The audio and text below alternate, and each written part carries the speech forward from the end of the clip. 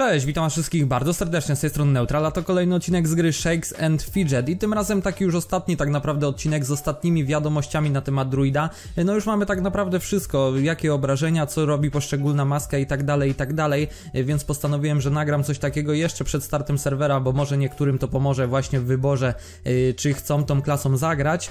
Y, no i co, no dalej będziemy ją sobie testować już na S39 polskim, czyli już na tym normalnym serwerze gdzie już będziemy grać tak jak mówię normalnie, nie będzie to taka postać testowa jak ta, którą widzicie teraz, no ale mamy takie można powiedzieć dane, y, przede wszystkim ten, ta klasa bez maski jest totalnie bezużyteczna, to znaczy przegrywa z każdą inną klasą, która jakby ma podobne statystyki do niej, oczywiście bez maski, więc no jakby ta postać samego druida, tak jak mówię, bez założonej żadnej maski, służy tylko do tego, żeby dobić ten dziesiąty level i żeby założyć sobie właśnie maskę tutaj niedźwiedzia Y, bo y, dlaczego tak jest? Wszyscy myśleli, w tym ja w sumie też, że y, bez maski to będzie taki mag i będzie bił tyle co mag i będzie generalnie no taki jak mag po prostu, ale okazało się, że nie, dlatego że Tutaj mam po lewej stronie bazowy druid, nie omija pancerza, nie ma bloku ani uniku, zdobywa maski po 10 levelu niedźwiedź i 25 level kot, no to wiadomo, że niedźwiedź to jest wojownik, kot to jest zwiadowca.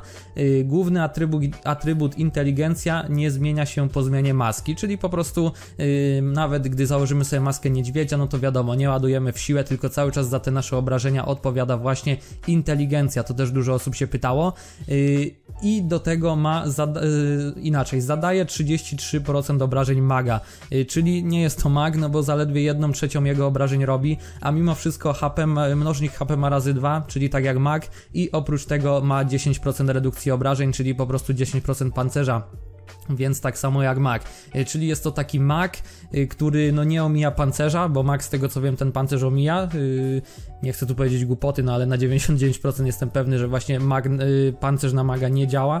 Nigdy się w to nie, nie zagłębiałem ale y, tak jak mówię, no nie omija pancerza i zaledwie jedną trzecią obrażeń maga zadaje, no a całą resztę ma taką samą, więc tak jak mówię, jest to tylko y, postać bez maski, to jest po prostu yy, taka, żeby dobić ten dziesiąty level z misji jak najszybciej i zakładać od razu maskę, bo nie opłaca się nią grać. Ewentualnie ktoś mi tam podsunął pomysł dobry, że na przykład jak y, nie mamy miejsca w plecaku, a ktoś chce, żebyśmy się rozebrali do podziemi, to można wtedy zdjąć tą maskę i wtedy jest jakby no słabsza ta postać i łatwiej ubić tam do podziemi na przykład, Albo na przykład y, do klasera, czy coś w tym stylu.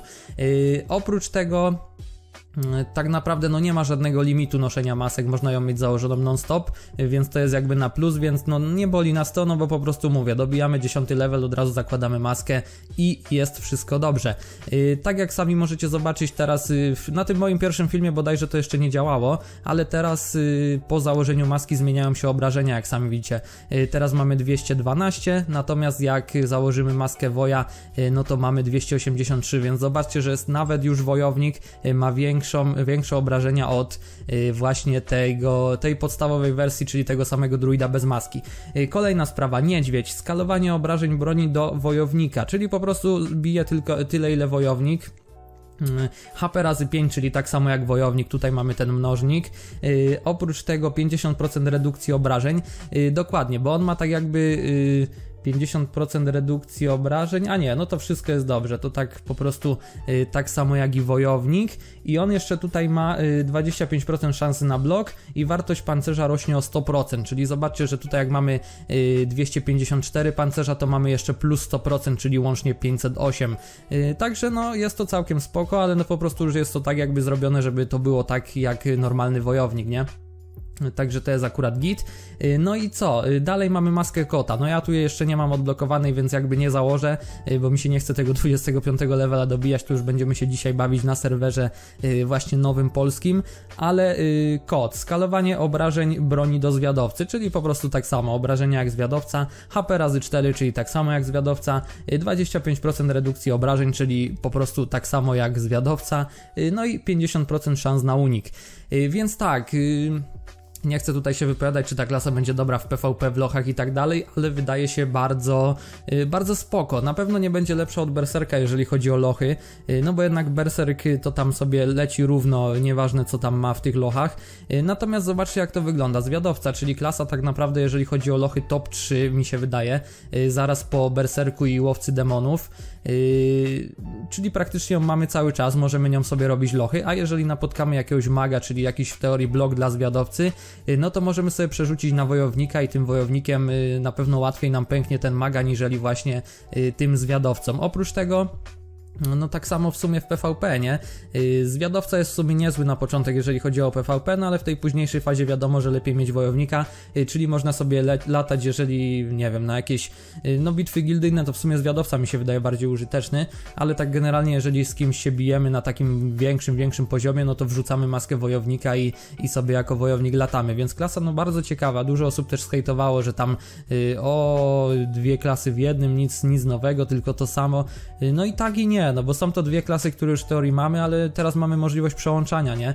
Więc jakby, no jest to fajne, jest to fajne dla osób, które, y, nie wiem, na przykład y, Wiele osób mają, ma level tam jakiś wysoki i chciałoby sobie zmienić klasę, chciałoby, żeby była taka opcja nawet za grzyby, e, bo czytałem właśnie o takich, takich rzeczach. No a teraz jak nam się znudzi jedna, to możemy sobie przełączyć na drugą, nie? Więc, no czyli to, czy to jest dobre, czy nie, no to nie wiem, nie mi oceniać, ale wydaje mi się, że ta klasa może być e, naprawdę mocna, no bo tak jak mówię, no ta możliwość switchowania tych, e, tych klas chociażby właśnie pod te lochy, żeby sobie tutaj grać, po prostu wybierać, wiecie, pod lochy daną klasę, no wydaje mi się, że jest git Zwłaszcza, że są, jest to połączenie dwóch, wydaje mi się, najsilniejszych klas, jeżeli chodzi o late game.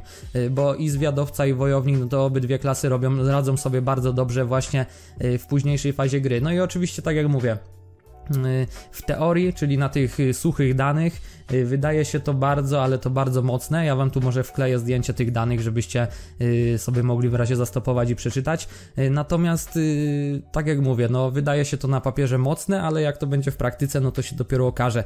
Zapraszam was w ogóle na konkurs jeszcze. Konkurs zrobiłem na grzyby, tam we wtorek bodajże wleciał film, więc kto jeszcze nie bierze udziału, to zapraszam. Oprócz tego dzisiaj startuje nowy serwer, na którym będziemy sobie grać właśnie tym druidem. Będziemy go sobie tam sprawdzać. Live'a co prawda nie będzie, ale będę się starał robić tak, coś takiego, że jak będzie się coś ciekawego działo na postaci, y, czyli będę tam delikatnie jakieś lochy robił, coś tam będę, nie wiem, EQ wymieniał czy coś, to po prostu będę to nagrywał razem ze swoim komentarzem. Y, potem przed 12 postaram się Wam zrobić podsumowanie serwera. No i będziemy y, jakoś to posklejam, jak postaram się, nie wiem, po 12 i Wam pewnie już w nocy, taki jest plan przynajmniej, żeby w nocy Wam wrzucić właśnie film i yy, żebyście sobie obejrzeli jak ten pierwszy dzień wyglądał, nie? Tak samo zrobię po, bodajże jutro i tak samo zrobię w niedzielę, yy, no a w piątek wiadomo, wszystko zwolni standardowo, no bo się event skończy, więc yy, dalej już tam będziemy jakoś sobie yy, powolutku ciachać. Yy, no i co, możemy jeszcze tutaj sobie machnąć lochy, a jestem jeszcze w podróży, ale już mi się skończyła misja, yy, więc dobra, możemy sobie zrobić coś takiego, ja tu mam w ogóle dźwięki, mam, ale to akurat nie jest w tym odcinku bardzo istotne zbezczeszczone katakumby. Y, no mam tutaj co prawda jeszcze trochę golda, jesteś, mamy tą maskę ubraną dobrą, więc możemy sobie jeszcze wrzucić w inteligencję. Y, klepsydry mi się już skończyły, tak to ten level jeszcze wrzucił, ale nieważne. Kupiłem sobie tam jakąś różkę, bo mi dawała sporo obrażeń. Y, co prawda jest na zręczność, no ale nieistotne. Zobaczmy, czy uda nam się tego pierwszego maga pokonać.